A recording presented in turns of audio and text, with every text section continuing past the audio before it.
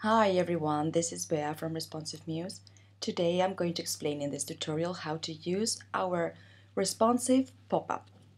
So once it's installed, same thing, you'll find it here in your library. So just drag it to your site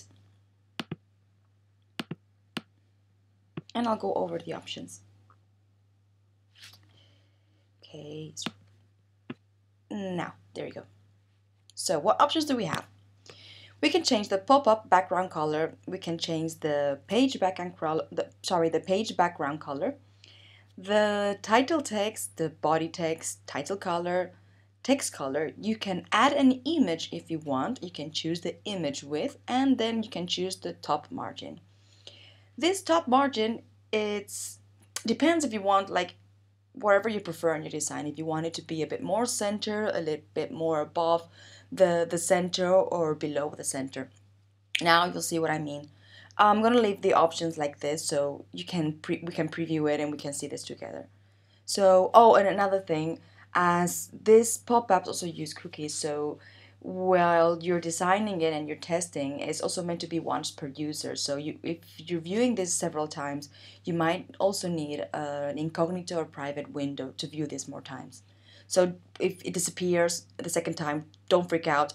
Use Safari or incognito window. Sorry, use uh, use sorry, use incognito windows or private windows. You can find them in Safari or Chrome. That was what I meant. So I'm gonna preview this. Oh, and what I usually do is I normally place this in somewhere above, no matter where. But the importance it should be it should also be in the top layers. Here I obviously don't have, uh, just have one layer. But if I had more elements here, this should be also in the top of the rest of the elements. So what I normally do is make sure this is in the top the top layer and then I bring the rest of the elements back just to make sure. So you won't have any problem then. Anyways just preview this. Okay drag this okay. So remember just drag it and it's responsive too. Now I'm going to show you how if I customize it and I add a picture, for example, a photo, let's add one.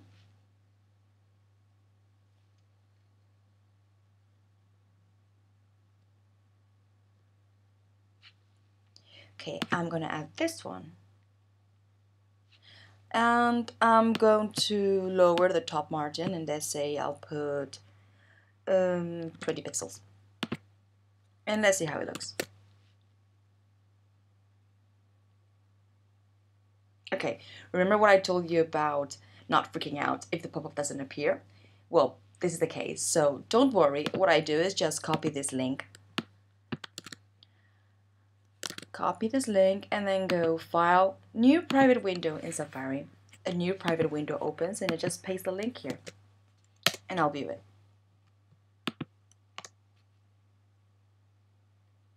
Okay, so this is it. Remember I added um, uh, the picture and then I lower the top margin. So this is what would appear. So anyways you can customize it. You can change this background change this color do whatever you want add the picture. Make it look nicer than this. Do whatever you want. So if you have any comments if you have any doubts please let us know. Uh, you can comment these videos and then we'll answer you as fast as we can. Thank you very much for viewing